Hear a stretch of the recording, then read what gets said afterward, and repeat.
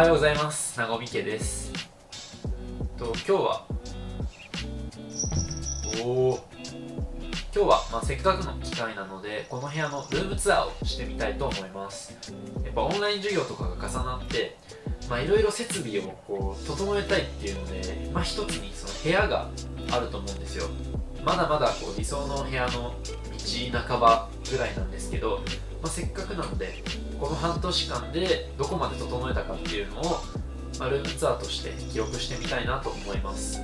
まあ参考になるところももしかしたらあるかもしれないのでぜひ見てみてください。それでは行きましょう。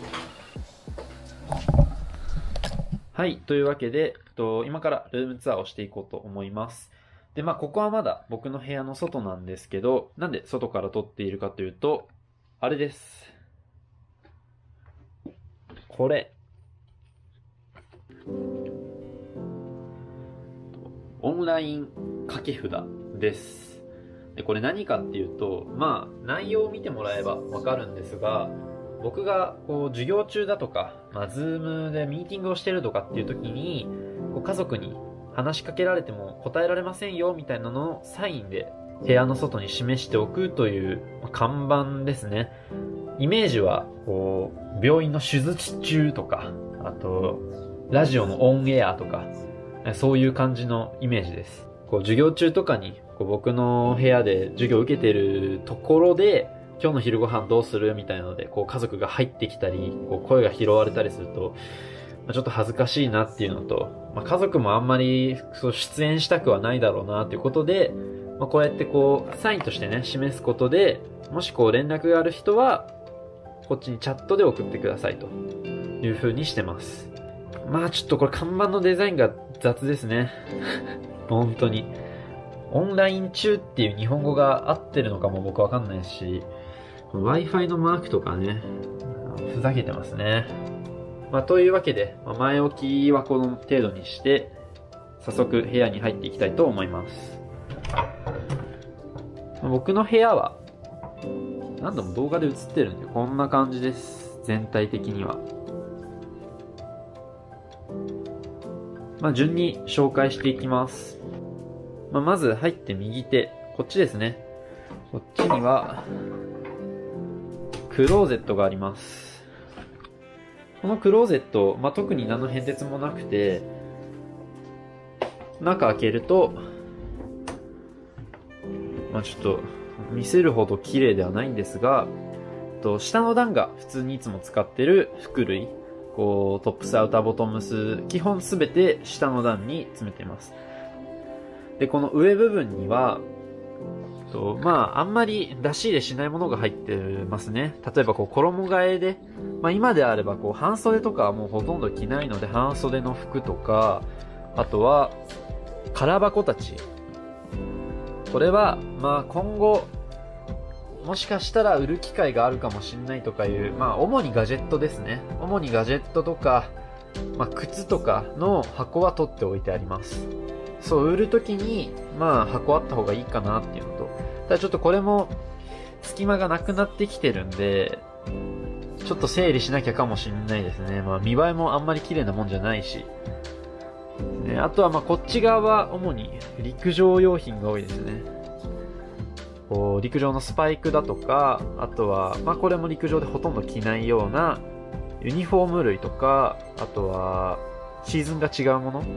半袖とか、まあ、そういうものを上の段は入れてます。まあ、ここは要するに、めったに出し入れしないゾーンですね。で、下が、さっき言った通り、えー、基本的な服を入れるところです。まあ、クローゼットの中は、そんな大したものは入ってないので、私服が入ってるって感じですね。あ、そうそうそう。あのー、僕の部屋すっごい湿気？湿気がすごいんですよ。特に冬場になると、結露とかを中心にすごい湿気になってて、僕も部屋なんか、もう部屋が結構カビがすごかったんですね。カビ臭かったりもしたので、今は、こう、クローゼットの中に除湿機を入れています。まあ今ぐらい、こう、10月、11月ぐらいだと、まあ1週間に1回ぐらい水を捨てに行くって感じですね。1週間ぐらいで1リッターちょい水が溜まります。恐ろしいですね。それを今まで全部服が捨てたり、こう壁にカビが生えたりっていうのに使われてた水なんで、これ怖いですね、本当に。まあそんな感じです。特に変哲はないですね。まあ今後、もし、もし需要があれば、服、手持ちの服とかも紹介できればなとは思ってます。で、あともう一つ、強いて言うなら、ここについてる紐です。カーテン止めるロープなんですよ、これ。なんでここにつけてるかっていうと、この家全体が結構縦長なんですよ。で、僕の部屋がその、北の一番端っこに位置していて、北と南の窓を開けておくと、思いっきり風が吹き込んでくるんですね。でそうすると、ドアが、この、ドアが思いっきり、すんごい勢いでバホーンって閉まったり、で、まあ音がうるさかったり、単純にこう、嫌だったりするので、このドアを開けておくときに、こんな感じで、ドアノブに引っ掛けて、風が吹いてきても、閉まらないようにしています。生活の知恵的な、まあ大して知恵は絞ってないんですけど、知恵みたいなもんですね。で、クローゼットからこっち側に動くと、まずここにあるのが、ドライフラワーです。これは、えっ、と、去年の11月、12月ぐらいに買ったもので、なんだ、なんだかんだ1年間、1年間保ってるのかな、これは。まあもうドライなんで、そもそも保つも何もないんですが、まあそんなにこう、枯れてる感も僕は感じないので飾り続けてます。むしろこうナチュラル感がこうこの部屋の雰囲気に合っていていいかなと僕は思ってるんですがどうでしょうかね。まあまあまあ、どっちせよ秋っぽさがあって僕は特に今の季節飾ってるのが好きです。で、この部屋でおそらく最も存在感を放っているのがこのピアノです。で、僕はこのピアノは弾かないんですよね。まあ、昔習ってたことはあるんですが、もう今は全然弾かないし、多分手も覚えてないので弾けないのかなと思います。僕の妹がこうピアノを習っていて、こう練習しにちょいちょい来るという感じなんですが、じゃあなんでこの部屋に妹のピアノがあるかというと、実はこの部屋もともと妹の部屋だったんですね。で、今妹が使ってる部屋はもともと僕の部屋でした。あるタイミングでこれ交換して、で、今の妹の部屋にはベッドがあるんですよ。このベッドが部屋の半分ぐらいを占める大きさで、まあ、僕がもともと使ってて、で、最初は気に入ってたんですけど、だんだんこう、あまりにも大きすぎて、なんか嫌になってしまって、そういうタイミングで、妹がベッドが欲しいっていう風に言ってたんで、あ、じゃあもう部屋ごと交換しようってことになって、今の部屋持ちになりました。まあ、その時にさすがに、こう、ベッドとピアノを同じ部屋に置くのは無理でしょうってことで、まあだ、まあまあピアノならいいでしょうということで、僕の部屋にピアノが置いてある状態です。まあ存在感はでかいんですけど、まあまあまあベッドよりはいいかなという感じです。で、ピアノの上に乗っているものに関しては、まあ大したものは本当に置いていなくて、まあここにあるのは妹のピアノの楽譜とかの本ですね。で、ここの2つは僕が服についたホコリを取るためのクリーナー。コロコロですね、いわゆる。で、こっちが、えー、服にかける消臭スプレーになります。僕の家では犬と猫を飼ってるので、やっぱりこのコロコロは特に必須ですね。で、ザーっていくと、ここに猫がいます。これは猫用の布団ですね。どうやらこの場所が猫気に入っているようで、まあ、よくここに登っては、こう外の景色を見たりだとか、なんかこう風を感じたりしているので、まあ気に入ってるならいいかということで、ここに、これなんかマイクロファイバーで多分あったかいんですよね。これを置いています。その横にあるのが、これは植物関係の道具ですね。えっ、ー、と、水やり用のじょうろと、こちらは、えっ、ー、と、葉水用の、えー、スプレーになります。これをまあ、まあ朝とか、こう定期的に、えー、僕が最近買った Amazon オリーブちゃんにあげているという感じです。で、こっちに移ると、ここが、僕がお出かけゾーンと呼んでいるところです。まあ、呼んではないですけど。これが、と僕のお気に入りのキャンバス生地のバッグ。で、これが、えー、陸上関係のものを持っていくときに使っている、えー、MHL のキャンバスリネンのトートバッグです。で、ここが時計ですね。うわ、切ったね。ちょっと正しときましょう。まあ、僕はアクセサリーはほとんどつけないんですが、一つだけ、時計だけは毎日つけてます。で、まあその時計ですね。今手持ちは4つです。えっと、その時計の下にあるのが、僕が旅行とかで使う、えー、エアのカプセルパックになります。まあ、リュックサックですね。めったに使わないので、まあ、取り出しづらい場所にはあるんですが、特に不自由はしてません。で、えっ、と、僕が基本的にこうデイリーユースしてるのは、このマザーハウスのレザーのリュックサックになります。と、これはもらい物で、まあ、それも合わせると、すでにこう3年4年ぐらい使い込まれて、もうくったくたなんですよね、皮が。くったくた。まあいい味は出てるけど、かなり色あせてるんで、まあ逆にこう気兼ねなく使えるという感じはありますね。まあこいつはもう結構毎日、外出するときは、ほぼほぼ7割ぐらいはもうこのバッグなので、えっと、まあ取り出しやすいようにというか、特に定位置は決めてなくて、ここに置いています。で、次にこっちですね。これ。このでかいのが Amazon オリーブになります。部屋の中でもかなりのこう存在感を放ってくれるグリーンで、まあ、最近こう Vlog でも上げたんですけど、尾崎キュラーパークというところで購入しました。まあ、背丈が160センチくらいあって、もう本当にでかいですね。そろそろ僕が身長抜かされるんじゃないかっていう感じです。で、この部屋、さっき言った通り、北側ですごく日当たりが悪いんですよ。この窓はこうベランダに出るための窓で、まあ、ここ東側なので、まあ、朝とかは若干光が入るかなというくらいで、基本的に直射日光は入らないので、アマゾンオリーブは、まあ、今はここに置いてあるんですが、僕が家にいる時とかは、基本的にこう、外に出してあげたりだとか、窓に寄せて光を浴びてもらったりっていう風な形で光を与えています。まあ、この Amazon オリーブって本当に耐陰性が強いらしくて、ただ、もちろんこう、ずっとね、ハードトレーニングをさせ続けるのもかわいそうなので、できればね、ちょいちょいこう、日に当てたいなと思ってます。で、そこから右に行くと、まあ、ようやく僕の部屋のメインコンテンツですね。デスクになります。ま、デスク環境については細かく言い出すとキリがないので、また、後日、こう、現在のデスク環境ということで、動画作れればいいかなとは思っているんですが、まあ、大まかに言うと、これが、えっと、スタンディングデスクで、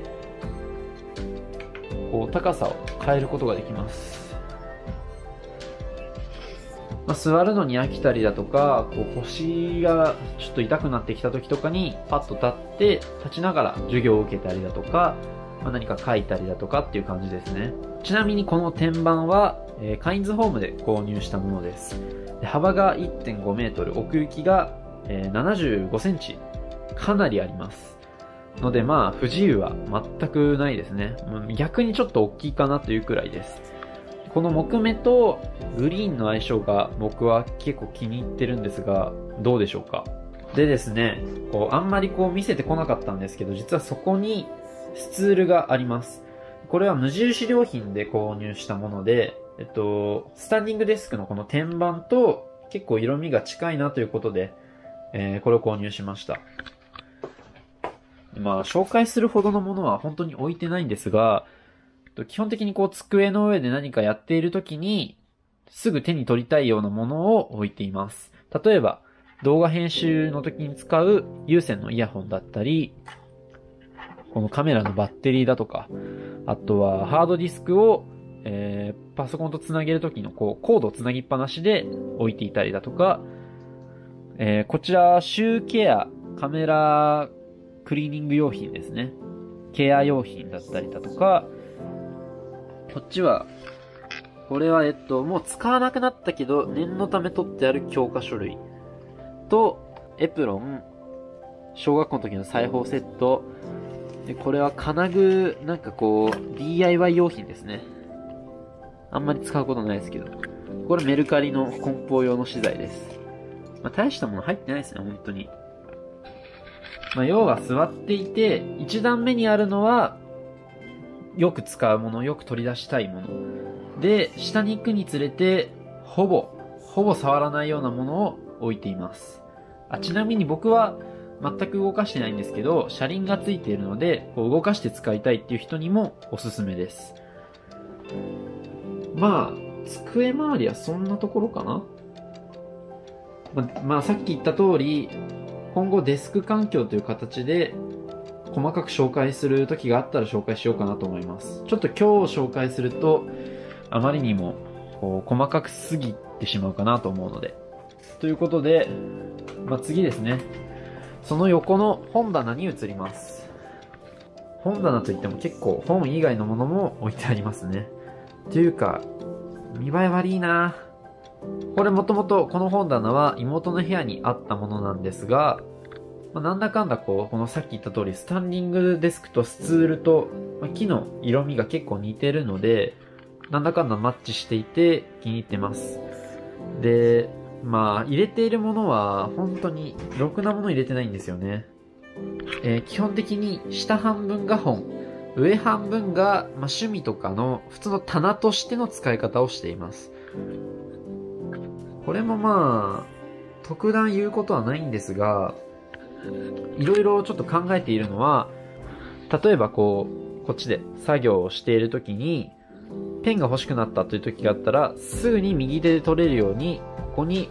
ペンスタンドとか、あとは必要な文房具を置いていたりだとか、えー、僕が日々愛するコアバッグをここに置いておいて、えー、取りたい時にワイヤレスイヤホンだとか、家の鍵だとかを取ったりしています。僕が好きなのはライフスタイル関係の本だとかが好きなので、まあ、そういう本と、教科書と、なんかちょっと書類とっていうくらいですね。本当に、本当に大したもの入ってないです。あちなみにここに吊り下げてるのはティッシュですね。これも僕がちょっと鼻炎持ちなので、こうすぐに鼻を噛みたくなった時とかに、パッと取ってパッと噛めるっていうのが魅力ですね。この本棚の上には、えー、僕のカメラ関係の機材を置いています。といっても、ここに普段置くのは、まあ、三脚とゴリラポットとジンバルぐらいかな。あ、で、ちなみに、ハンターサングラスは基本ここに置いてあります。あ目立たないですね。まあ、しょうがない。普段つけないから。で、まあ、これで、こっち向くとドアなので、これで一周ですね。僕の部屋のルームツアーはこんな感じになります。というわけで、えー、こんな感じです、僕の部屋は。えっとまあ、実家暮らしということで、やっぱりいじれる部分はそんなに広くないんですよ。こうピまあ、一番大きいのはピアノなんですけど、ピアノはやっぱり動かせないし、他にもこう、家族のものとかも、ここではちょっと紹介しなかったですけど、やっぱりあるので、そういったものをいじれない点では不自由はあるんですけど、まあ、ただ僕の部屋はそれなりにこう楽しめているというかこう、まあ、充実させているような気はするのでで、まあね、実はこうイメージがあるんですよ僕の理想の部屋の。一応こんな感じで部屋の理想はあります。いやこうしたいな早く。まあ、一気にやっても楽しくないので徐々に徐々にこう完成させていたいければいいかなとは思うんですが、まあ、今後ねこうそういう徐々に改造されていくところも楽しんでいただければなと思います、まあ、さっき言った通りこう細かい部分までフューチャーするとちょっとこう何て言うんだろう内容にムラが出てきてしまうのでそれぞれこうフューチャーするときは例えばデスク環境だとかクローゼットだとか本棚だとかまあ、そういった風にこうそれぞれフューチャーできればなと思ってます。まあ言ってもちょっと需要あるかな。まあ今後楽しみにしていただければなと思ってます。というわけで、えっと、今日の動画はこんな感じです。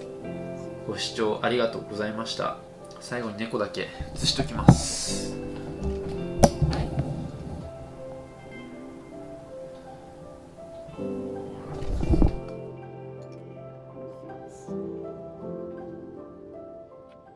っとここからは、おまけということで、さっき言い逃した部分をちょいちょい言っていこうかなと思います。とまず、このピアノの椅子ですね。結構ちゃんとした作りをしてます。まあこれと合わせると、実は僕の部屋にゲーミングチェアと2つ椅子があるんですね。でもせっかくなのでこの2つを使いたいということで僕はちょいちょいこう椅子を切り替えてます。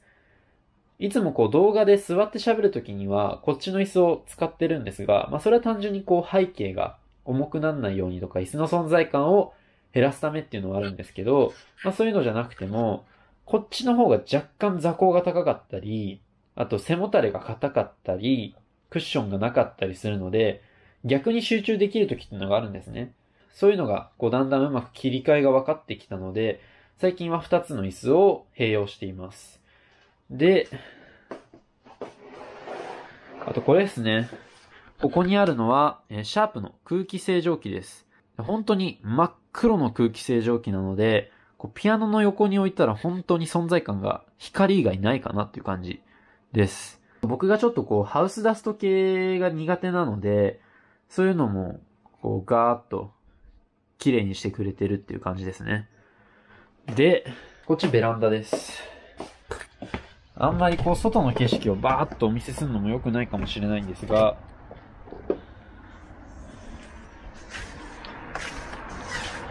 まあまあまあ、実は結構広いんですよ。まあなので、こうたまに外に出て、こう風を感じたりしています。授業時ごとのこう気分転換にもなりますね。あと、植物の水やりとかにも、いい感じで使えてます。今後ね、ここもね、ちょっと改造できればなと思ってます。自由だな、あいつ。自由、自由。ああはい、おいで。